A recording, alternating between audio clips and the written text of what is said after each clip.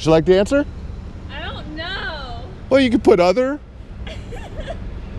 Just give it your best shot. I'm not going to give you a grade. you get no units for this. I'm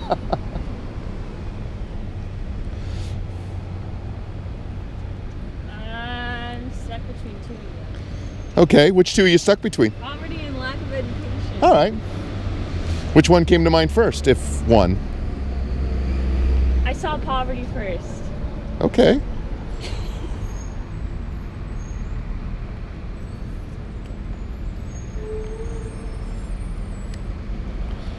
My name's Tony, by the way. My name's Allie. Hello. Hi, Allie. Have we met before? No. Oh, okay. All right. So, why do you think that's the main problem? I don't know, because I feel like lack of education is also part of the issue. Okay. Because, like, people don't realize, like, the situations that others are in. Okay. Which, like, leads to poverty because, like, they aren't able to, like, assist or, like, help. Well, you know, it's it's certainly easy for us in America to kind of be clueless as to what poverty's like. Yeah. Now, granted, we have people who live in poverty. Uh, I don't I don't recall what the percentage is. I don't know if it's about ten percent, eleven percent. Don't quote me on that. But I mean, there's certainly a percentage of people in our country that, according to the standards in our country, live in poverty. But I think statistically, it also shows that many of the people in our country who are considered impoverished are wealthier than 99% of the people in the world Yeah. you know uh, so i mean i've i've spent i've spent some time in kenya uh, in the nairobi area and uh, i've seen uh, i've gotten a taste in a sense of poverty at a level i wouldn't experience here in the united states. So so so how do you see lack of education and poverty going hand in hand as far as the main problem in the Like, world? One thing is that a lack of education can lead to poverty because like they can't get like jobs that like pay well or like okay. um like um learn how to like fix the conditions that they're living in like Okay. say like water sources and things like that all right and then like poverty can lead to lack of education because they can't afford the education or like they don't live in like places where they can like get an education Sure. or like they have to spend the entire day like getting resources and like water sources and like food got it rather yeah than going Sure. Yeah, I, I see validity in, in all of what you said. What's interesting, though, is that uh, what, what are you studying, Allie? Um, cinema. Cinema. Yeah, I what, what aspect of it? Um, I'm mostly like a fiction portion, like of cinema. Okay. What do you hope to do with your degree? Um, either like I want to like get involved in like cinematography, um, like sound design. Okay. So like, So um, pre and post production type work Yeah. behind the camera. yeah, Okay. My uh, my uh, youngest daughter, Amanda, she's 24, third year student here. What year are you? um, I'm a second year student. Okay, so she's a third year English major. Um, she had had aspirations of being a film archivist. Um, uh, she has just this photographic memory for old films during the Hays Code and you know 30s to 50s, and and uh, now she's kind of moved towards. Uh, uh, museum curating and that kind of thing, but you said cinema, and it, made, it automatically made me think of her. So, that field that you want to get into, tough, Yeah. right? I mean, um, you know, and, and I hope you do well with it. I mean, I, you know, that's, I, I- don't want to discourage, I don't want to discourage you. But the reality, though, is that there are, there are, there are people here who um, may come out of four years here with no debt whatsoever because of either scholarships um, or grants or parents who can afford their sends their, their kids to school, right? Um, there are also students who are going to come out of here with $100,000 in debt. Um, some of them are going to graduate with very, very specific, high level educations in very impacted fields. And some of them are going to be working for 750 an hour at McDonald's saying, Would you like some fries with that? Right?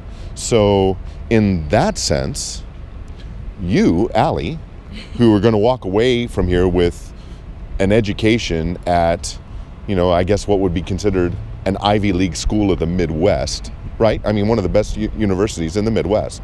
You're going to walk away with a four-year degree, right? Um, with aspirations to maybe pursue more education or go directly into your field. No guarantee of that, Yeah. right? So even being highly educated, you may struggle to make enough money to survive Yeah. right? So, so while I agree with you that that someone with no education might have a tougher time in some parts of the world than a person who's well educated, a good education is no guarantee that people aren't going to struggle financially, Yeah. right? Um, I would say sin. Imagine that, huh? Walk up here, see the cross. Okay, yeah. Um, wh- when I say the word sin, what what comes to mind? What is there a definition that rattles in your head, or do you Um, have any kind of religious background or anything? Or So I'm not really religious. I'm probably like agnostic. okay, But like sin is just like morally wrong things. I guess like okay, just like a lack of consideration for like basic humanity. okay, I guess. all right, okay.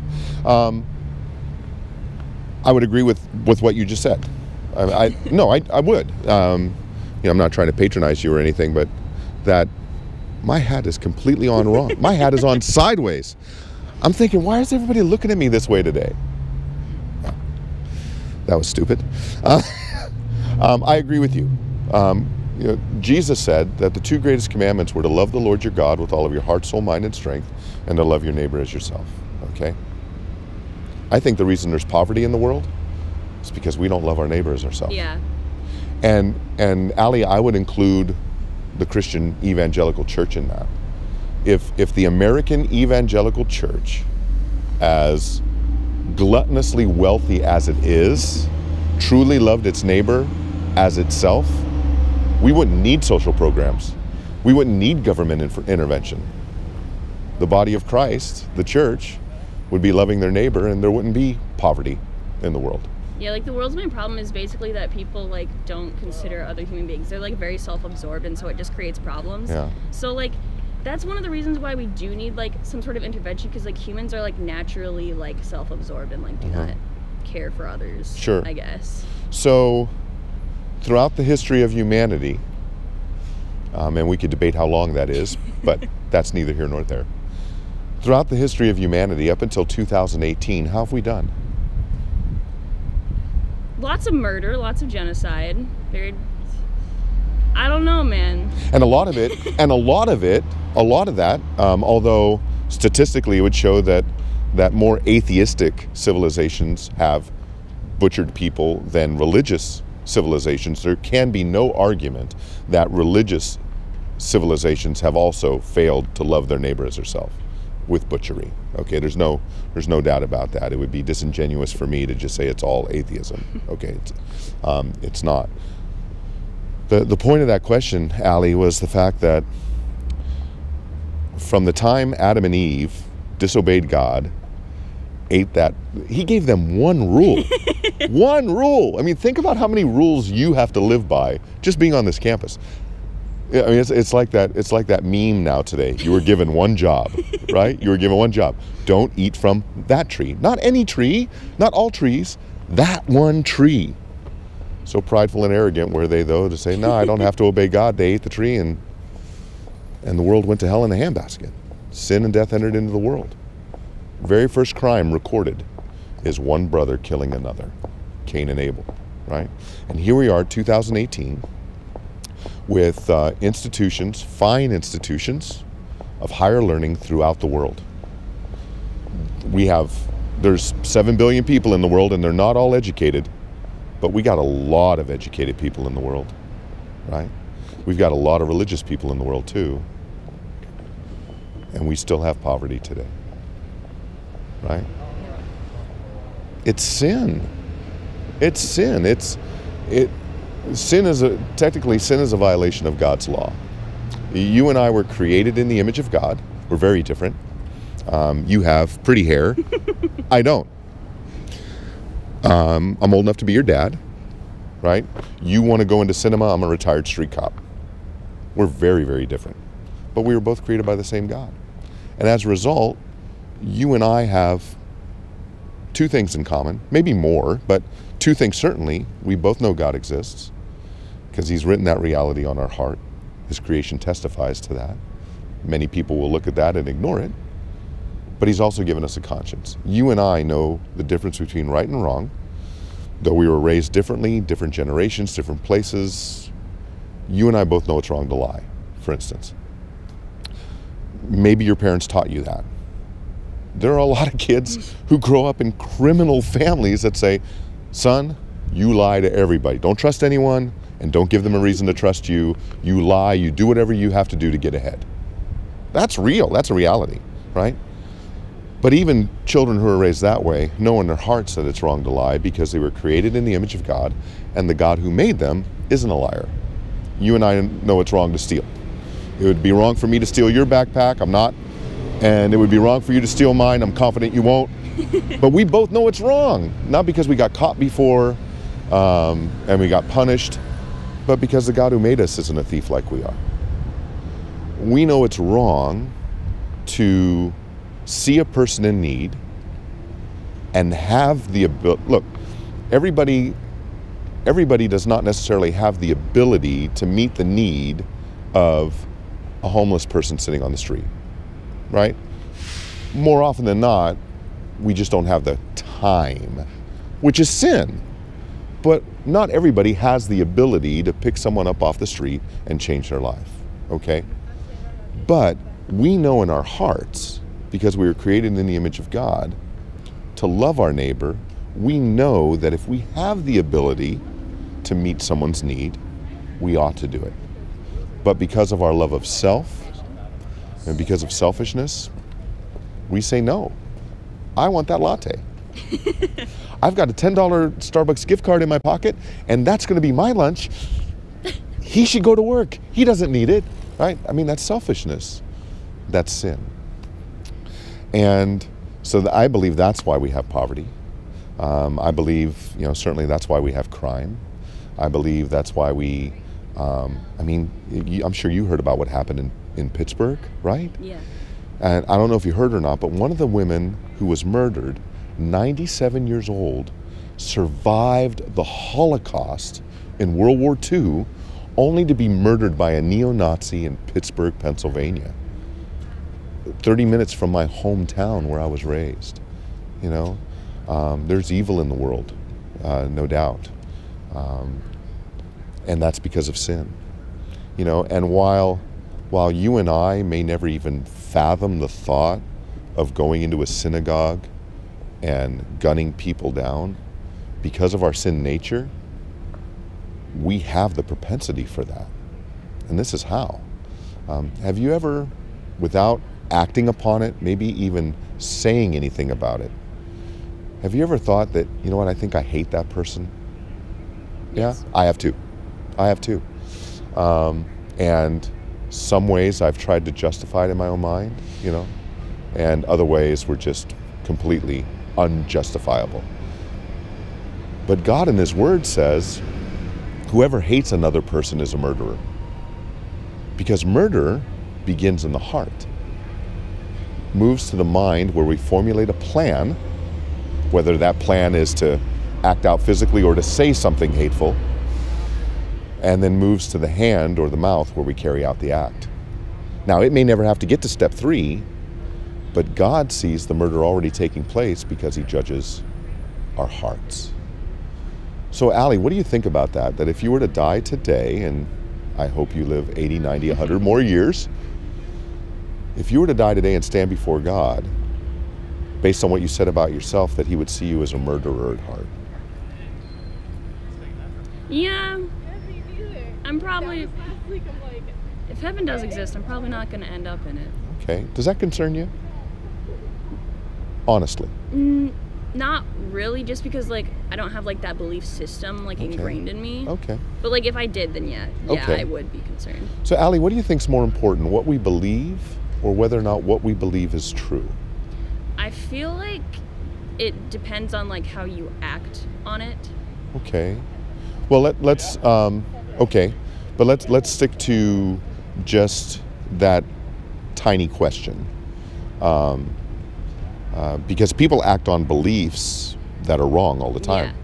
That man who, and, I, and I'm hard pressed to call him that, um, better put, that coward who went into that synagogue and gunned down those people believed what he was doing was right. Is it true that what he was doing was right? No. No, abs- I 110% agree with you. There was nothing right about what he did. See, and you and I know that instinctively, again, because we were created in the image of God. We know that murder is wrong because the God who created us is not a murderer at heart like so many of us are. And so, in the end, Allie, what's more important is whether or not what we believe is true. I could believe that you are the starting starting quarterback for the Hawkeyes. I could believe it with all my heart. He, he had a rough weekend, didn't do real well against Penn State. Um, he's a good quarterback, but I could walk up to you and say, "Hey, tough game, but you're a great quarterback." well, what are you talking about? Well, you're the starting quarterback for the Hawkeyes. No, I'm not. I'm a second year cinema student named Allie. No, no, no, no, no, no. You're about I don't know how tall he is, but you're about 6'2", 220. Um, man, I believe it with all my heart. it's never going to be true, right? You're always going to be, well, maybe not always be young, but you're always going to be a lady named Allie, no matter what I believe about you, right? Same is true about God, Allie. Doesn't matter what we believe in the end. What matters is whether or not what we believe is true. And again, God has written the reality of his existence on our hearts. Many of us, and I did for a time, many of us simply suppress that truth by our unrighteousness. And the reason we do that is the thought of submitting to the God we know is anathema to us. It's ugly to us. It's a, no, no, no. I'm going to be the captain of my own destiny. I'm going to be the final authority. I'm going to make all my own decisions. I'm not going to be answerable to God. That's part of our rebellion. That's what Adam and Eve did, you know, in the garden. And, and mankind hasn't changed a bit. And that's why we have poverty, right? So, do you have any idea what God did so that when you stand before Him, instead of receiving justice, instead of receiving judgment for your sins against Him, you could receive forgiveness? Confession. Nope. No. Um, and this is why. Um, again, I was a deputy sheriff for 20 years. And uh, Abraham Lincoln once said, uh, as an attorney before he became president, he said, Any man who goes into court to defend himself has a fool for a client. Okay? And I saw that happen many times as a deputy sheriff. Guys, um, uneducated, many of them, not all, some very educated, but so prideful, so arrogant, even though they're guilty of committing the crime, they say, I don't need an attorney. I'm just going to go in and convince the jury and the judge that I'm innocent, that Deputy Miano is wrong, and I'm innocent, and they're going to let me go. It never worked out. Okay, so let's say, let's say Allie committed a crime. Probably unlikely, no, but just hypothetically. So Allie commits a crime. She gets caught. It's uh, not a case of mistaken identity. It's it's not a, a corrupt police officer or judicial system. It's not 12 people who weren't smart enough to get out of jury duty and making a dumb decision.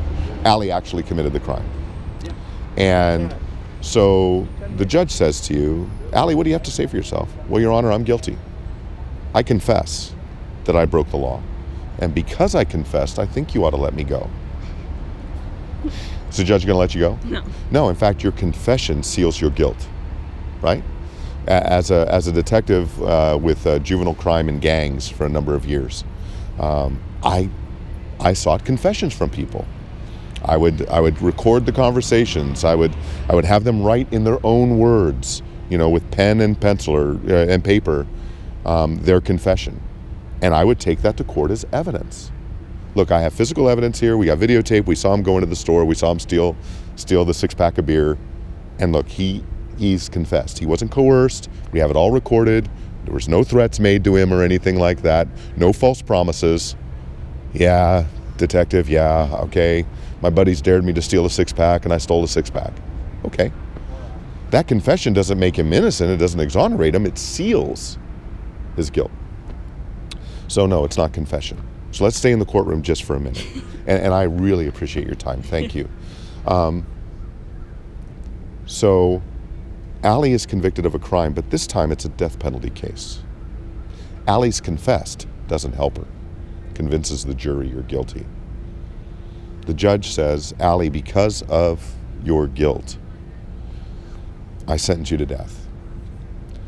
Unlike here in America, where uh, death row inmates get 10 to 20 years to appeal their case and free food and medical care and housing on our taxpayer dollars for all that time, they're going to escort you to an adjoining room. They're going to strap you to a gurney and they're going to put you to sleep like a stray dog.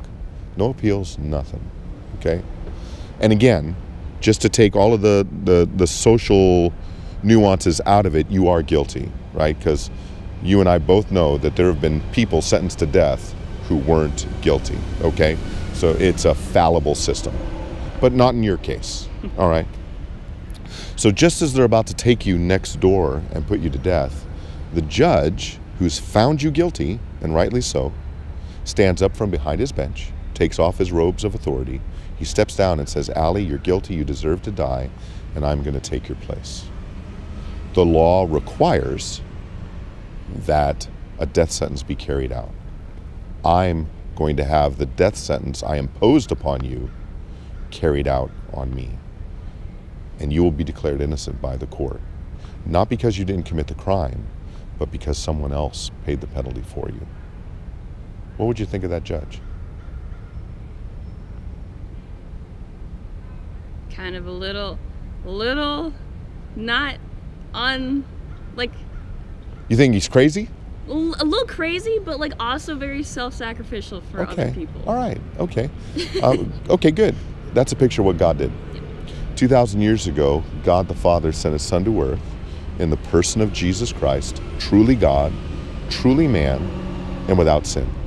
Uh, unlike you and me, who break God's law every day in thought, word, or deed, one way or another, He never sinned. He lived a perfect life for some 33 years as God in the flesh that you and I can't live for 33 seconds. And then at a time appointed before the foundation of the world, he voluntarily went to a cross.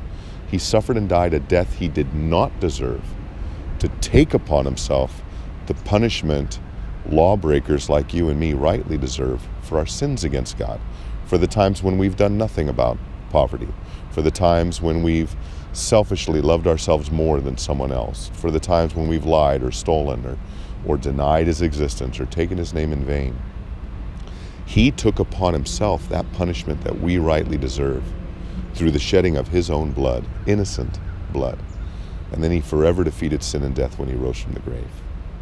And what God requires of us in response, Allie, uh, same thing he requires of you, me, and every other human being, is that by faith we receive that sacrifice, that gift that Jesus Christ gave on the cross. And by faith receive him as our Lord and our Savior.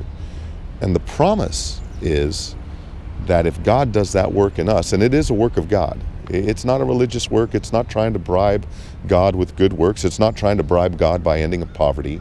You know, I, I um, it's not it's not trying to earn merit with God by helping a homeless person. It's entirely through faith in what His Son did on behalf of sinners like us. And the promise is, is that if He does that work in us, our sins will be forgiven. Not on the basis of anything we did to earn it, but on the basis of what his son did to pay that penalty that we rightly owe to God. We'll have the assurance of forgiveness. We'll be reconciled to the God, the judge of the universe we've spent our whole life offending, even if we never gave it a thought. And we'll have the assurance of eternal life, again, on the basis of what someone else did on our behalf. Does that make sense? Yeah? Okay, so I talked a lot. I'm going to give you the last word. What do you think? Don't know. Okay. So give it some thought. Yeah? Right? Okay. Thank you so much for your time, Allie. Really good talking to you. Do well with your studies. Take care.